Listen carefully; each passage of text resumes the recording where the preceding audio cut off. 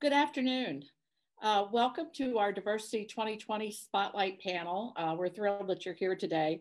Uh, I'm Karen Corrigan. I serve on the board of directors as chair of the board for the Muse Writers Center in Norfolk, Virginia.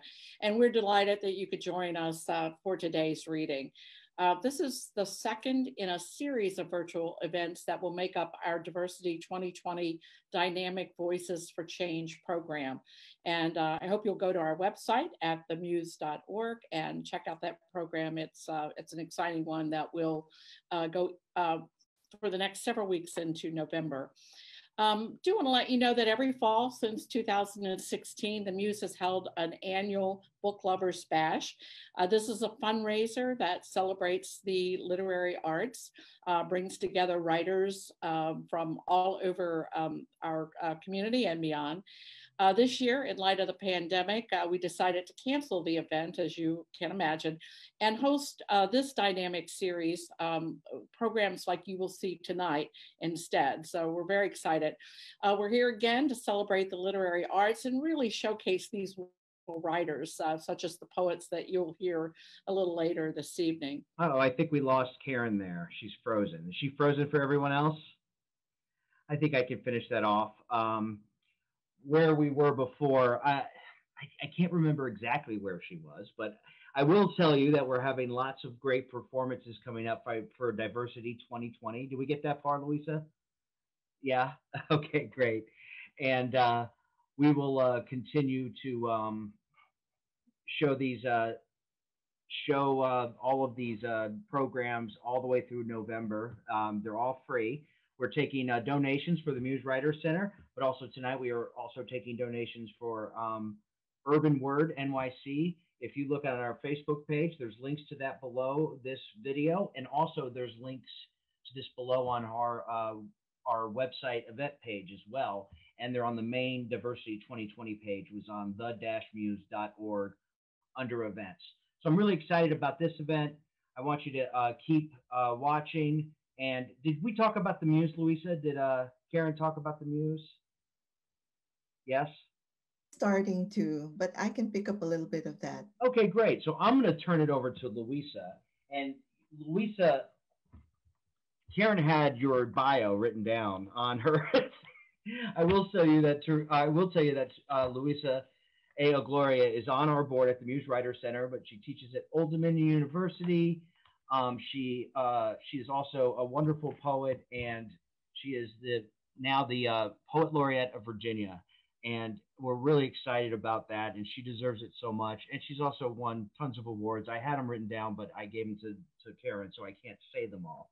But I'm going to go ahead and turn it over to Luisa. Maybe Karen will be back at the end. Okay. Thank you so much, Luisa. All right. Thank you, friends, for joining us in Hampton Roads. It's a bright and cool Saturday afternoon afternoon. Uh, I'm just here to be fangirl to all of our wonderful guests this afternoon. Thank you for being here. I also want to thank all the people who helped make this particular program possible. So thank you, Sean Gervin and our Muse interns and our behind the scenes staff for all the wonderful help throughout the planning and getting this series going. And I want to name them by name, Susan Deutsch, Rebecca Coxwell, Kimberly Ammons, Sierra Foltz, and Gabriela Igloria. And thank you to Dr. Kamea Davis and to Urban Word New York, uh, who, who has helped us to bring our third speaker uh, for this program. As Karen said earlier, please consider making a donation to the Muse, which has served our Hampton Roads community over the last almost two decades to bring a variety of short-term courses at all levels in writing and creativity to our communities. And the Muse, as it says on our website, is committed to not turning anyone away. And so we really rely on your generosity, the generosity of sponsors, donors to help us keep our promise to our community, communities as we grow writers and artists in our midst. So uh, it is my great honor to introduce our readers this afternoon. I will be doing so in turn, and then they will read maybe you know three or four poems, uh, and then I'll come back and introduce the next reader. And at the end, we'll have a little opportunity for some conversation, and the audience may type in their questions um, in the, uh, I'm not sure, in the Facebook page, uh, wherever there's a space for questions, please ask questions, and we will read them out, and we will try to address as many as we can, uh, given the time constraints or time remaining. So the first reader, first writer I'd like to introduce this afternoon is January Gill O'Neil. In her most recent book, aptly called Rewilding, she proposes the idea that there are things in our lives, in the very world itself, that need to return to their basic, honest nature. But what does it mean to make something wild again? What has happened to the life we knew before this moment? And how do you get up every morning in a world constantly threatening to swallow us, our children, and our ecosystem? So I go to Jan's poems in order to try and find solace for myself too as I grapple with such questions. But I also want to say Jan is no stranger to Hampton Roads. She earned her BA at Old Dominion University and her MFA from New York University, a Cave Canem Fellow and Executive Director of the Massachusetts Poetry Festival. Her honors include a Paterson Award for Literary Excellence and the Mass Books Poetry Award from the Massachusetts Center for the Book. Jan is also a board member of the AWP, the Association of Writers and Writing Programs, and she has many, many other honors that I could not possibly list them all uh, today, but I'm, I'm very excited to hear uh, what she has brought to us today. And so welcome, Jan. Thanks, Lisa. Uh, and thank you to the Muse and all the folks behind the scenes. Thanks to Ross. Um, I'm thrilled. And I was saying this offline, but you know, I wish we had the Muse when I was at ODU. Um, you know, and I grew up in Norfolk and I love Hampton Roads and I get down every chance I get. My parents are still in Norfolk. So um, depending on what's going on with COVID, I'm hoping to come back in the near future. So I'm going to read four poems. Um, I'm going to hop around a bit. Uh, it felt like uh, we had a rainy morning and uh, it's now sunny and the leaves are changing. So I'm going to read an October poem. The blower of leaves. Always there is sky after sky waiting to fall. A million brilliant ambers twisting in the thinning October sun, flooding my eyes in a curtain of color. My yard is their landing strip. Today, I bow to the power of negative space, the beauty of what's missing, the hard work of yard work made harder without you, while the stiff kiss of acorns puckers the ground. I am a fool. Even as the red impatiens wither and brown, they are still lovely. I feed the gaping mouths of lawn bags with their remains. All this time, I was waiting for a heavy bough to crush us high above, but really, I was waiting for you to say enough. It was a feeling that swirled inside me, a dark congruence, a tempest of the blood pulsing enough, enough. How I had mistaken it for ordinary happiness.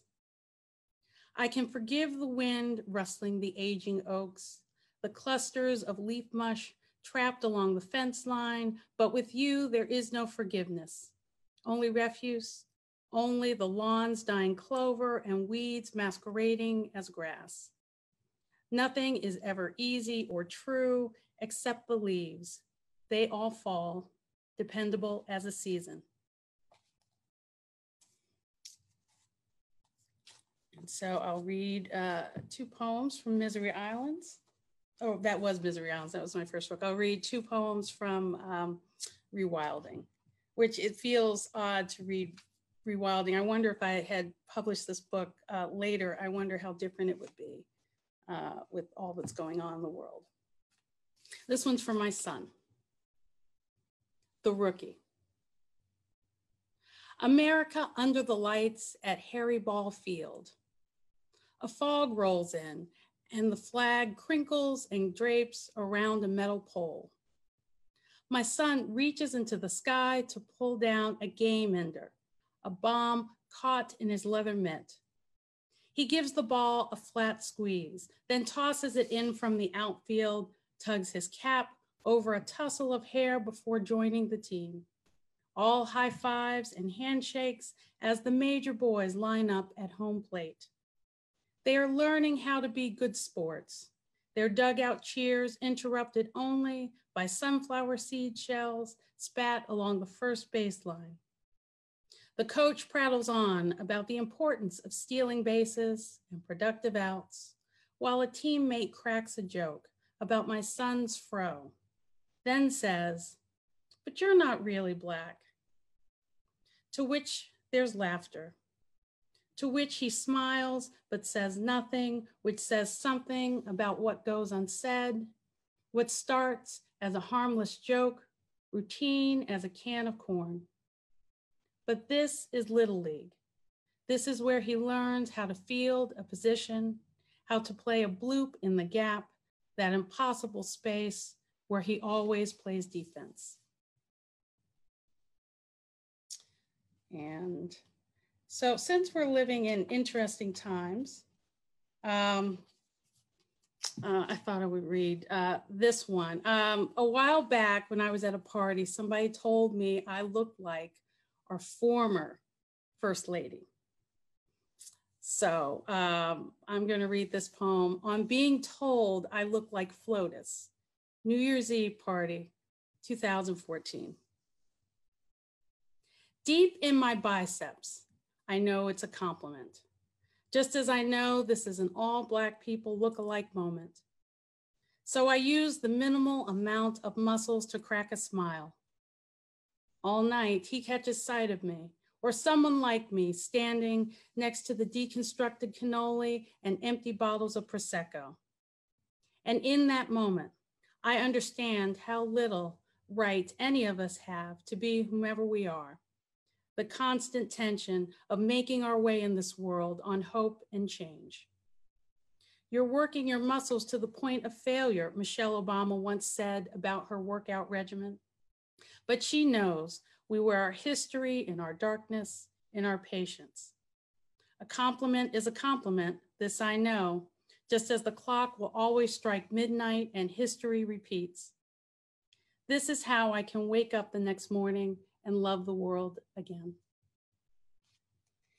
And I'll finish with a relatively new one. This past um, year, I was um, a fellow at the University of Mississippi in Oxford, Mississippi. And uh, it was a great experience to, to step away from my normal teaching schedule and, and Massachusetts life and, and live in the deep South uh, for nine months. And so uh, a lot of my writing was centered around um, race relations and Emmett Till and and and um, music and everything good and not so great about the South. Um, and then COVID struck, and then I had to stop a lot of my research.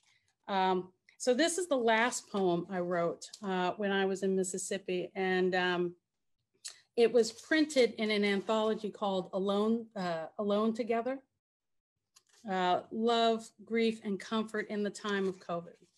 And so I'm constantly wondering in this time, um, if I write um, a poem in this time, is it a COVID poem because I am writing during a pandemic or because I'm choosing to write about a particular subject? But this one I actually did write uh, about what was happening. This poem is called Glitter Road. I'll take my miracles however they appear these days. A salamander poking its head above the bricks, the shocking blue overcoat of the season's first bluebird, a spider web unbroken.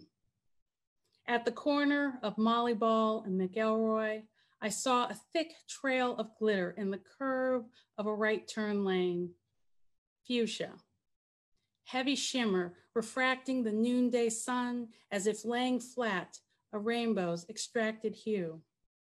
Not paint or blood or parade shedding its cheer. It's the faded streak of eyeshadow as it trails and flecks, then disappears. I think of cars passing through this moment, their undercarriages aglow with possibility. Hard not to feel good riding a glistening wave, my tires now bespeckled with a purple sheen that's tough to rid or wash away. The road ahead made beautiful by this temporary shine. Thank you.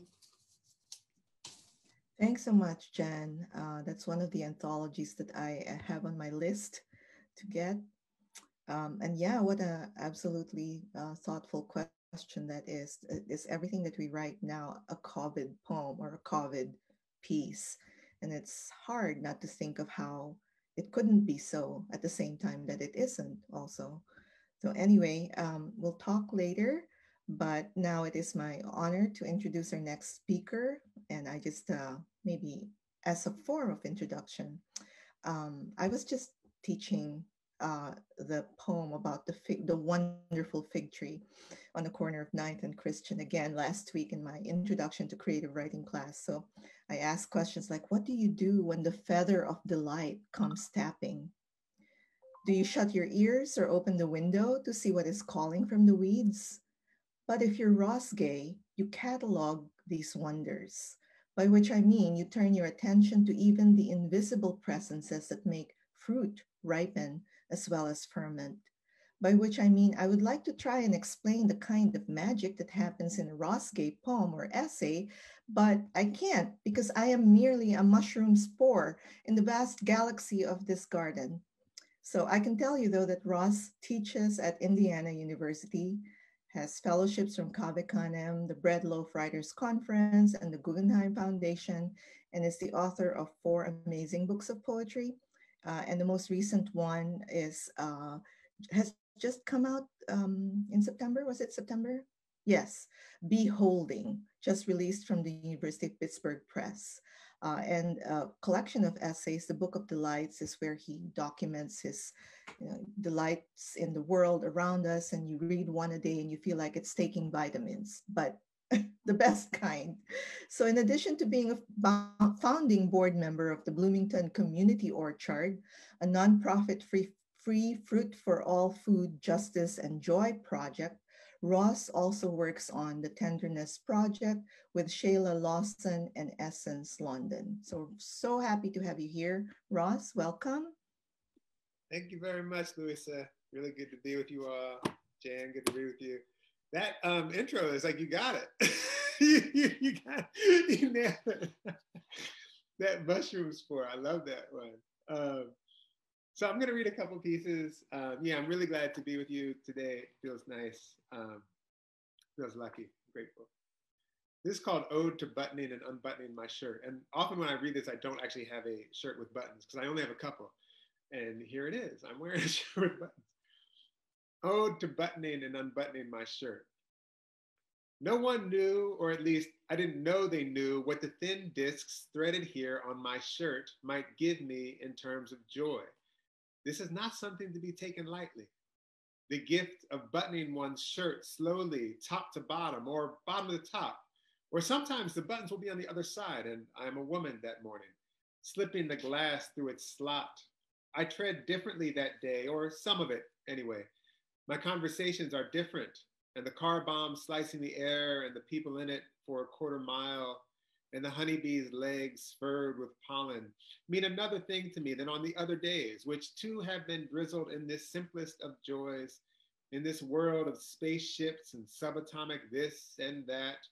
Two, maybe three times a day some days, I have the distinct pleasure of slowly untethering the one side from the other, which is like unbuckling a stack of vertebrae with delicacy for I must only use the tips of my fingers, with which I will one day close my mother's eyes. This is as delicate as we can be in this life, practicing like this, giving the raft of our hands to the clumsy spider and blowing soft until she lifts her damp heft and crawls off. We practice like this, pushing the seed into the earth like this, first in the morning then at night, we practice sliding the bones home.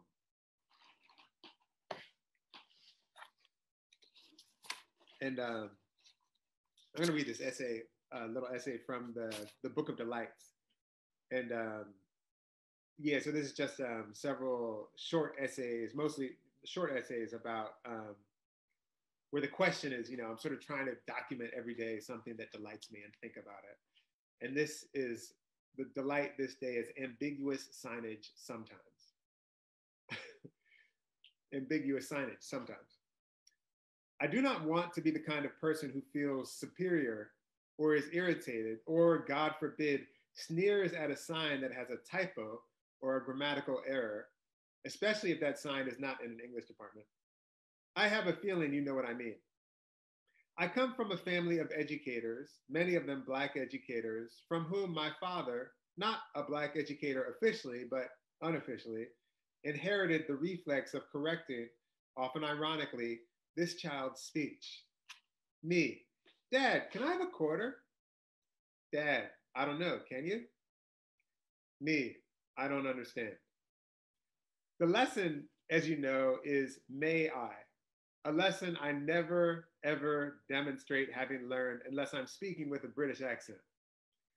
But what I've learned is the worry one might have about one's child, perhaps most especially one's Black or Brown child, speaking improper English, wearing improper colors, having improper etiquette, or displaying improper tastes, which, in the case of my dad and me, really meant behaving in the style or manner of Black people, the idea of Black people, which really meant one's Black or Brown child being perceived as the idea of Black people, the, the prospect of which, for my father, though I never heard him say it plainly, must have been a terror.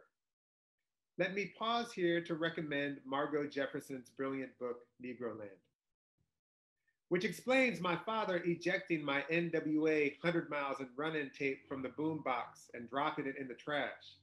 A performative gesture, really, meaning something between you aren't running from anything and you're going to be running from my foot up your ass but one that imprinted on me as I was keeping it real by digging through my spoogy tissues to retrieve Easy E and friends. You will run less if you know how to say may I, he actually meant, and don't even think about ain't. It is not too much to say, and the older I get, the more I understand it's really not too much to say that he was trying to keep us alive physically and psychically by inuring us to the many registers of hatred overt and subtle, leveled at Black people. He was trying to make our Blackness, or the idea of our Blackness, invisible, which he must have known was not quite possible. My father could be viciously protective, like the time he nearly murdered the posse of teenage skinheads in our apartment complex who pinned me to the ground and held a cigarette up to my face, or was about to stomp into oblivion the dog that charged me when we were delivering the piggyback shopper but my favorite, I think, was when he was with me in Humeville Municipal Court, where I was to defend myself against trespassing charges, a citation or something, for I had been sledding in the wrong place and was handcuffed and put into the back of the squad car. And when I lied to the judge, my favorite lines, and when I lied to the judge, telling him I never saw any trespassing signs along the route to Fireman's Hill, the cop asked, Can you read? My father answered for me, Yes, he can read, in a tone that meant motherfucker.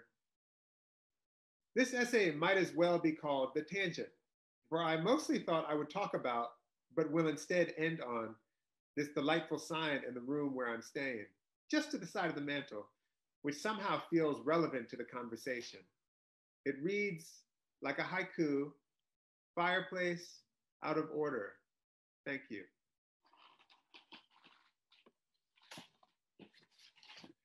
And I'm going to read one more poem, a little longer. This is called Opera Singer. Today, my heart is so goddamn fat with grief that I've begun hauling it in a wheelbarrow. No, it's an anvil dragging from my neck as I swim through choppy waters, swollen with the putrid corpses of hippos, which means lurking somewhere below is the hungry snout of a croc waiting to spin me into an oblivion worse than this run on simile. which means only to say, I'm sad. And everyone knows what that means.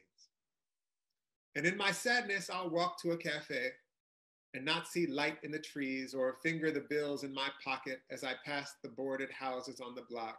No, I will be slogging through the obscure country of my sadness in all its monotone flourish.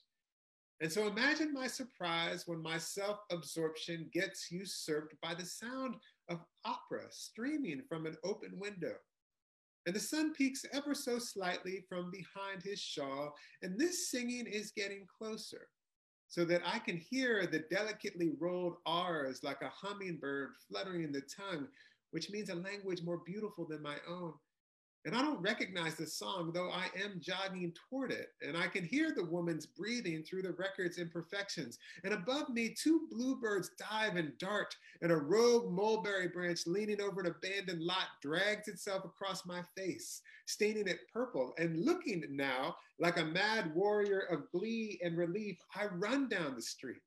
And I forgot to mention, there are 50 or so kids running behind me, some in diapers, some barefoot, all of them winged and waving their pacifiers and training wheels and nearly trampling me. When in a doorway, I see a woman in slippers and a floral house dress, blowing in the warm breeze, who is maybe 70, painting the doorway. And friends, it is not too much to say it was heaven sailing from her mouth and all the fish in the sea, and giraffe saunter, and sugar in my tea, and the forgotten angles of love, and every name of the unborn and dead from this abuelita only glancing at me before turning back to her earnest work of brushstroke and lullaby.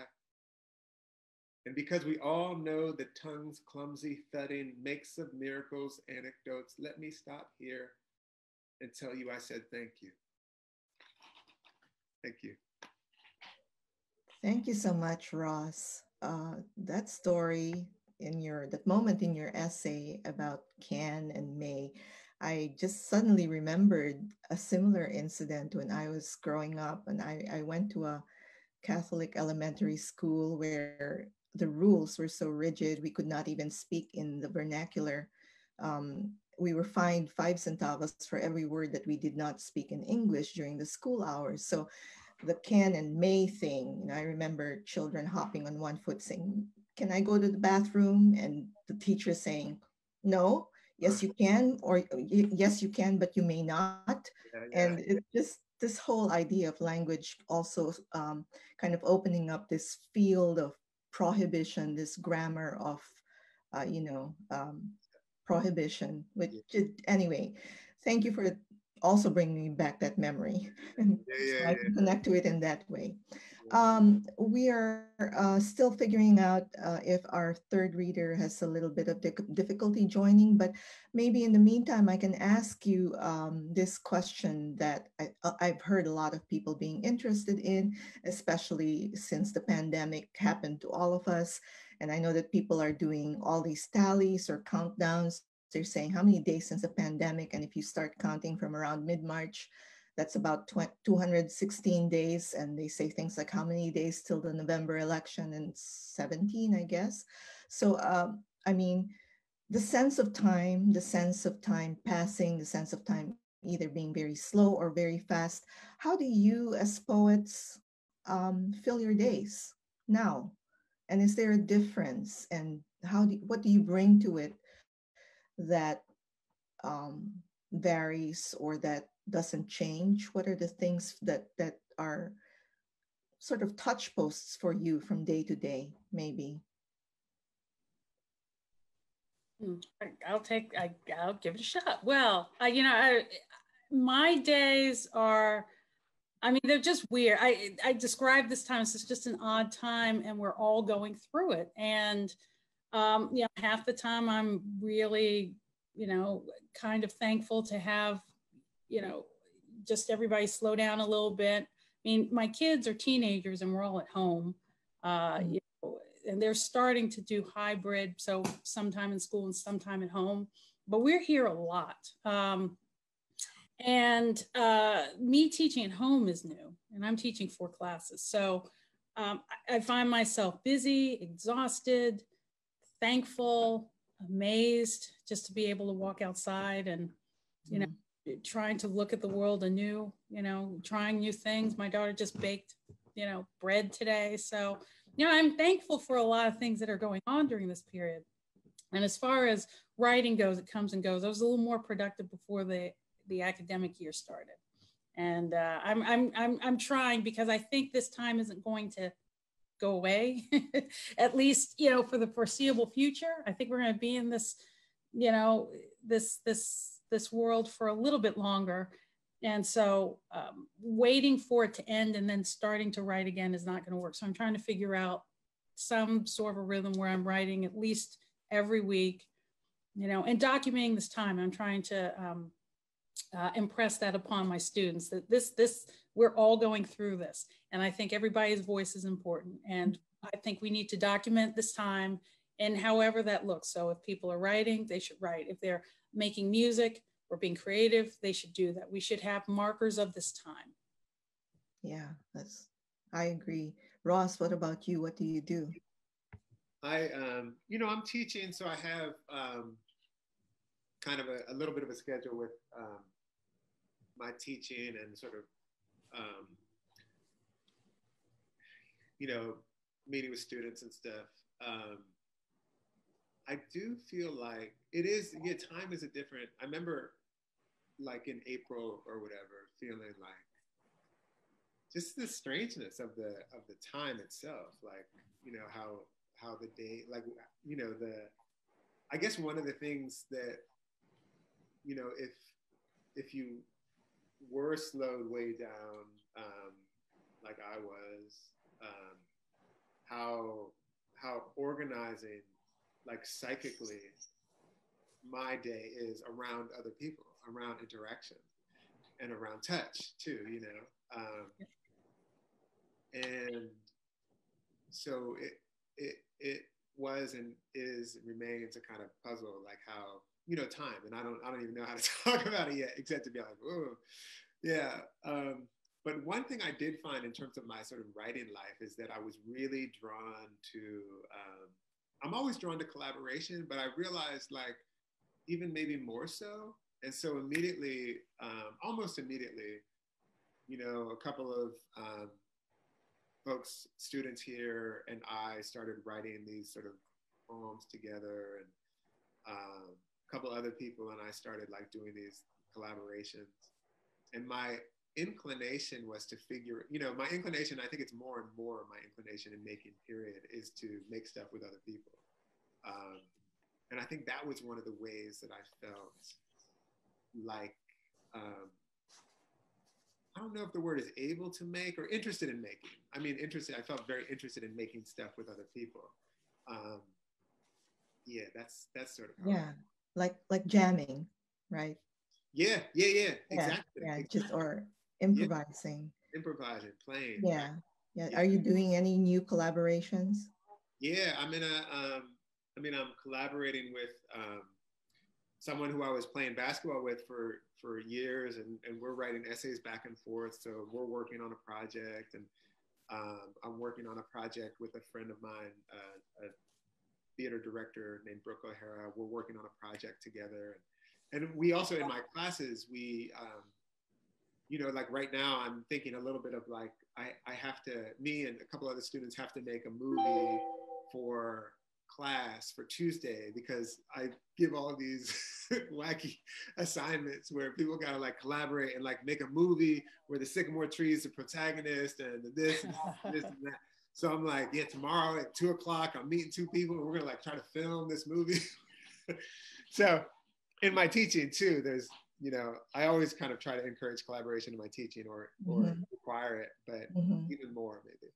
Yeah, I think for you too, Jen, are your students also more interested in that kind of thing now? They are. Um, I teach undergraduates, and you know, they they all seem to come to gla- to class and want to be engaged. I mean, I wasn't sure what I would would get. I mean, it's a little tough when everybody, well, half of the class, you know, blacks out their screen, mm-hmm. and I get, you know, that's a little hard. But um, they're they're as engaged as ever, and I'm trying to do my part to to you know how can you bring a community together that's not acting like a community, not because they don't want to, just because they can't. So um, I'm encouraging them to, you know, to work together and try projects together and writing assignments together. I'm also encouraging them to, you know, it, there's so many readings out right now because we can't travel. You know, mm-hmm. at we're all we have Zoom. We can go anywhere. Right. So, you know, I've made that a part of my class. Uh, right. But yeah, I, it, it is. It's it's an interesting time, and and the, what I'm getting back though, I've made I've made this time. I've, I've, wanted them to talk about. I figured, you know, when they came back in this per, the first time, they really had a chance to talk about, it, to write about it, to think about it. Uh, so, so I, have sort of made it a part of their class to, you know, what is it like, you know, to have a prompt about masks and, you know, what does that, what does that do to us? You know, you know, when I, one of the things I noticed with the mask that, you know, you can't really tell if people are smiling or not. So that's my experience. So trying to pull some of that and really have them, you know, go deep about what it means and how it's symbolic of how everything has changed. So yeah, I'm, and I'm trying to do, I'm trying to do projects where they, um, that makes sense for them remotely. And so that's getting more and connecting on email and such. Right. And, you know, we have a lot of teachers who are watching us this afternoon because the Muse is also a community of writing teachers, creative writing teachers. And there are a mm. couple of questions that have come in. Uh, Cindy is asking, well, Ross, but also maybe Jan can also answer later. Uh, would you talk about the distinction between gratitude and delight? Hmm. Yeah. Uh, I think it's a great question. It's a great question. Uh, and I also want to say about teaching, I think writing letters these days yeah. Um, writing letters is between students, like as a as an exercise, um, between all of us. Post postal service, wonderful. yes. yes. Um, yeah. So delight. Um, you know, it's funny when I wrote that book, I wrote these essays about delight for the whole year, um, and I'd never looked up the word delight. And I am kind of the kind of person who's into um, etymology and all that. So it was a friend of mine who actually was like, "Hey, uh, wrote me a letter on my birthday, the last day, and explained to me what delight, there's an etymology of delight. So I, it's funny because I kind of knew what it meant, but I didn't quite. But one of the things that I, my feeling about delight is that it is this sort of, um, um, you know, I wonder if I'll say it in the negative first. So delight is not joy to me. Delight is a sort of, you know, something that's occasioned maybe by something, you know, whatever. I don't even know. But it's it, joy is sort of a more grave, um, and when I say grave, informed by the fact that we will die, um, that we are in the midst of our dying, and what we love is also in the midst of dying. Um, and, and the sort of ways that we hold one another, perhaps ideally, um, and enter the holding of one another in the midst of that, to me feels like joy. The feeling that when we do sort of um, submit to and enter into the kind of entanglement that I believe is actually present, um, not only among, um, you know, human animals, but among all of all of the all. Um, that to me feels like joy, and kind of right to the side of that, or maybe in the same sort of thing, is when we sort of acknowledge when we acknowledge that our entanglements and our debts are our indebtedness is complete and absolute that we do not live you know there's no such thing as as um, independence. There's no such thing as freedom. There's no such thing as self-sufficiency you it, it, we are perpetually and always reliant and indebted upon our lives the very fact of our lives are constantly we rely on the benevolence of so much, and you might just call it the earth. Um, but you know, like the microbes in my stomach at this moment are keeping me alive. If they go wrong, it's it's like that. You know, I will never meet them except to be like, thank you. you know, the trees on this planet are keeping us alive. They go away, it's like that. You know, and on and on and on and on. So to me, gratitude, and I mean real gratitude. Um, I'm not, you know, it's like profound gratitude to me feels like um, like joy, like a kind of submission and understanding and entering into the full deep understanding of our absolute entanglement and our absolute um, indebtedness mm. for our lives, for mm. everything, and for our lives. I love the way you just put that the absolute debt and absolute entanglement in our, I guess, co relationships with everything. Because we, when we think of the word debt, we usually think of it in that sort of model which is built around the concept of penury. Or you owe someone and you know you're in trouble if you don't pay off your debts but this is a different kind of sense that i'm getting from that idea of an entanglement that is so absolute that we can't you know work ourselves free of that and and survive yeah, yes, yeah. we can't Amazing. work ourselves free of it it's yeah. so beautiful yeah. and it's like yeah. i feel like practices of gratitude are um, and I'm thinking of like a couple, like um, Robin Wall Kimmerer writes about this so beautifully, and um, Fred Moten and Stefano Harney um, write about debt so beautifully, and this way of that it's so uh, goes against the kind of whatever our weird notions, our capitalist, you know, world destroying notions are, but the idea of like, you know, we're more comfortable being in debt to a bank, say, um, than we are to ex- to being like in debt to each other you know mm-hmm. um, some kind of but but i've been thinking as practices of gratitude what i want to do is actually build my debt and i want to express my debt and honor my debt you know be in mm-hmm. need as you know something like elevating and honoring our need yeah yeah know, which is there and just yeah. like that's that's my life i need right. right jan did you want to address it too I don't know. That's pretty good. But I will say, um, you know, there's something about our interconnectedness that, you know, Ross is talking about that makes sense and, you know, lends itself to gratitude. And certainly in a time like this, when we've had to slow down and take stock of our lives and figure out what's important, I certainly wake up with a newer, deeper sense of gratitude, you know, knowing that, um, you know, my immediate circle is healthy and happy and, um, you know, that I get to do what I love to do, um, you know, which is write and be a mom and all those good things. So, yeah. All right. Okay. We have a question from Kendra uh, McDonald, who is our one of our muse teachers, also a poet. I'd like to hear Ross talk about the process of writing essays longhand with pen and paper versus sitting at a computer and writing, and if that changes your writing process at all, and also in regard to poems.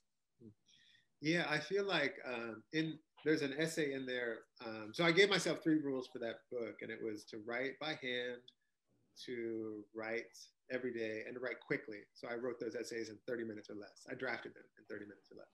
less. Um, I, you know, I in, in this essay where I talk about writing by hand, I quote Susan Sontag, who I think I have this right, who said something like, whatever makes you write slower, try to do that. Um, and I kind of, and I, and I, I like that as an idea. Um, I kind of believe that as an idea. Um, writing by hand also, like to me, it reminds me that the act of writing, which I think of as the act of thinking, is actually a bodily process. Mm-hmm. So I think with my body, and writing by hand reminds me that I am thinking with my body. And I feel firmly that if I'm writing a pencil, I will think differently than if I'm writing with a pen. And if I'm writing with a Le Pen, I will write differently than if I'm writing with a big ballpoint pen. And and then differently than if I'm writing by a typewriter, which is also another kind of technology that requires a different kind of embodiment, a kind of embodiment though. Um, so that's one of the things. Like to me, I, because I because I think of writing as thinking and I think of writing as embodied thinking. I think to do it with uh, with the hand in motion and kind of dancing on the page, um, feeling something, you know, feeling and hearing the sound uh, of the of the writing implement on the page and feeling the, the pull of the paper against the or the pull of the instrument against the paper. Um, that informs my thinking in a way that feels uh, mm-hmm. to me. The other thing is that something that feels like such a, a sorrow, you know, not like a big sorrow, but like a sorrow is that the computer make allows us to revise and eliminate all of this sort of all of the mess that we do in order to get to where we thought.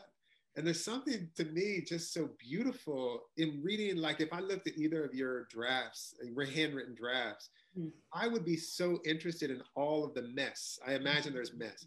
And I'm interested in the mess. And the, the computer allows us to just eliminate the mess so that it never, you can't even see the kind of the history of our thinking. I think the history of our thinking is really beautiful. And yeah, and uh, we were just talking about that. Well, eh, with my online class, so it's an asynchronous class, so talking through words, of course, mediated by the computer. But I was just saying something about how some poets or some writers don't even keep the drafts that they go through anymore.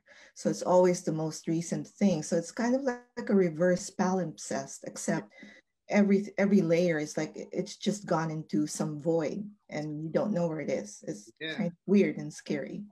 But do you do you write in with your eh, uh, pens or pencils and notebooks still jan yeah i've i've sort of my process has changed. But um i you know I, i'll it all strikes me by how i'm feeling that day and so if I roll over and, you know, write something bad, then yeah, I do it by pen. Um, uh, you know, if I have a chance later in the day, I'll, I'll type it up. I've been trying to write a poem a day uh, during the pandemic, but I haven't been doing that. I was wondering, Luisa, do you still, I remember a while back, you were, you said you write every day, you try to write a poem a day or like you, you have a streak going. So I still do. I still do. It's almost 10 years now in November. I will yeah have yeah. been accommodate for 10 days. I think we should celebrate that. It's amazing.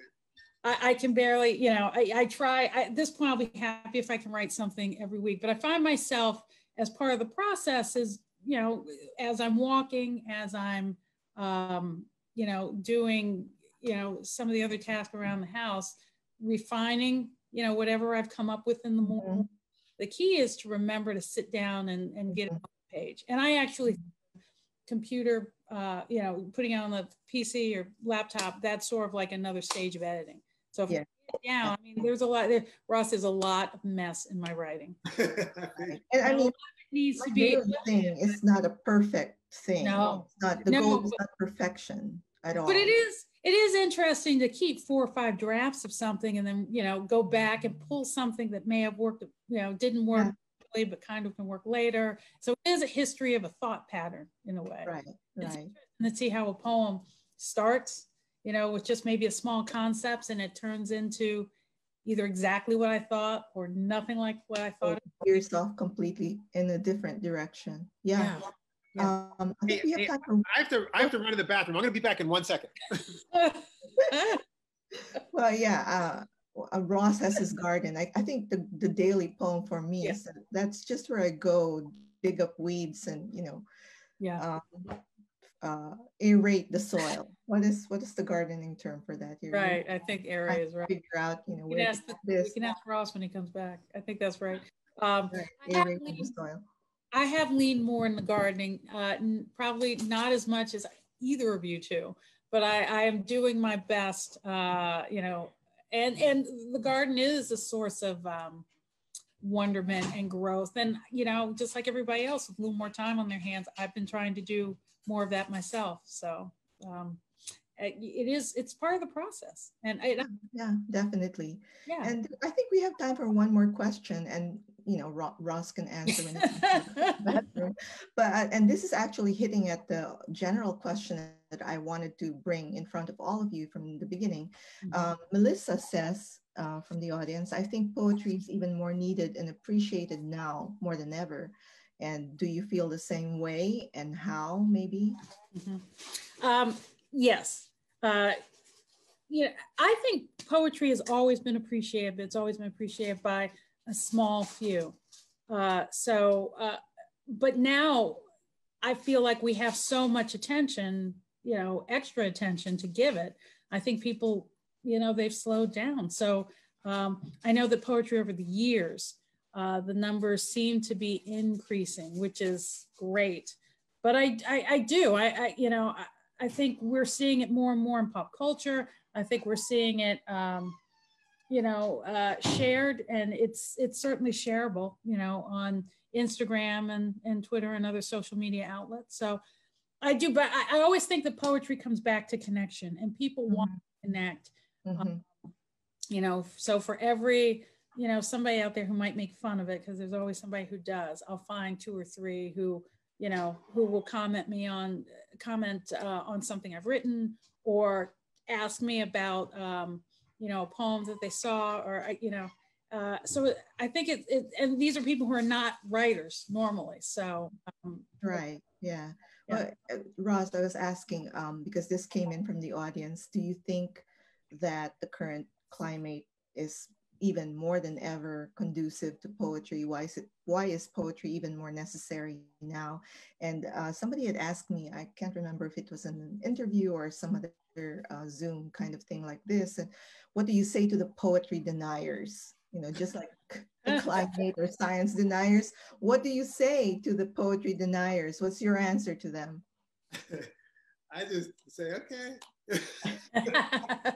to me, because I'm kind of like, you know, I'm always, I'm always, I'm not on the, um, on the worried about poetry thing ever because I'm like every time I go to a wedding, every time I go to a funeral, every time I go to some big thing, there's always some kind of poem, you know, and um, so, but I do feel like moments where I was trying to articulate this um, not too long ago, but like moments where there's a kind of we need to be able to articulate, among other things, the mystery. We need mm-hmm. people, we need ways that the mystery mm-hmm. can be kind of held and articulated. Mm-hmm. Um, and I feel like poetry does that, you know? Mm-hmm.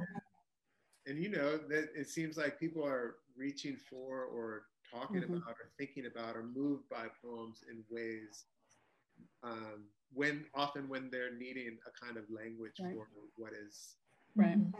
Beyond language in a certain kind of way. Yeah. right.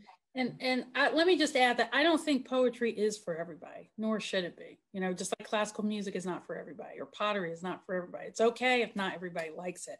I think poetry is durable and it will be around forever. And uh, new people will come in and and and write things that we have never thought about before. And you know mm-hmm we'll have our masters that we'll go back to generation after generation and it will be here. It will just it's it's just here. It's here. Yeah and sometimes it's not even about being able to figure out where the mystery of something that has moved us you know comes from or can be explained. I think just the fact that we can be moved still is the amazing thing that we can be and should be grateful for every time we can feel that way Mm-hmm. And so thank you to you who make us feel that mm-hmm. way a lot of the time. So thank you so much for being here. Um, if there's any other words of advice or wisdom that you can share with our writing community here, uh, we would love it before we say our farewells and thank yous. Well, well, thank you to you, Luisa, and the Muse, and, and providing spaces for writers and um, audiences to connect. That's so important. Um, you know, I will just add that it's it's easier now more than ever to find poetry. Um, there are some big organizations as well as small ones that do poems a day, podcast. Um, you know, if you're going to stare at your phone for five minutes, stare at a poem. So. Yeah, I also want to say thank you. I'm just um, grateful for places where we're able to like get together. Yeah. However, whatever it looks like, I'm just grateful. Yeah. Yeah. yeah. Right. Thank you for your generosity, both of you. And everybody out there, take your poetry vitamins every day. I'm cheesy little. Right. Yes. And let me turn the virtual stage over to uh, Karen. I think it's going to say close the programs. Thank you, Ross. Thank, Thank you, Jen. Thank you. Thank you. Time we can sit down and have coffee and commune face to face. Face to face. Yes. All right.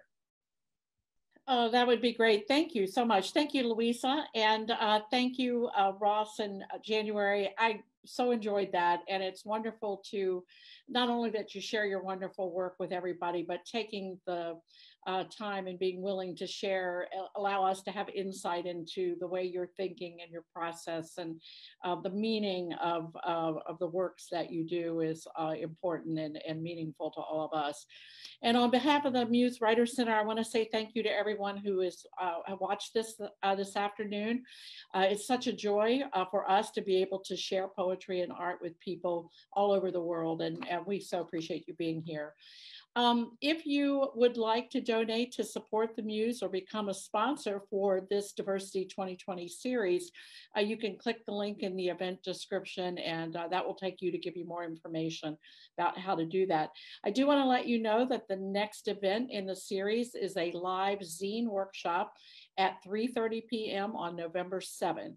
Uh, so be sure to check out um, that. Uh, you can check out the artist websites. You can look at our featured organizations and learn more about um, uh, the people and the partners that came together to do that. Uh, and if you're interested in our upcoming classes and workshops and events, uh, head over to our website. It's themuse.org, and that's spelled the-muse.org you can look at that. Uh, if you want more sooner, stay tuned and join us tonight at 7 p.m. Uh, we will have the poet uh, Bill Ayers is going to be here uh, for a virtual book launch and reading. Uh, be a very a nice treat for everyone. Uh, he's going to be reading from his new book, What Passes for Wisdom. So please stay tuned tonight at 7 p.m. and we would love to have you join us again.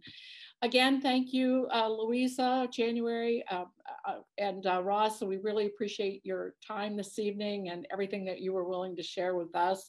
And uh, again, thanks to everybody for coming. Uh, stay safe, stay healthy, stay creative, and have a wonderful night. Thank you.